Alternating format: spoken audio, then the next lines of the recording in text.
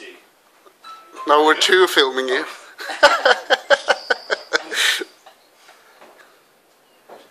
Ben's gonna be the new face of this game. we'll see him on some advert on TV. I'm sorry. you won't tell me, will you?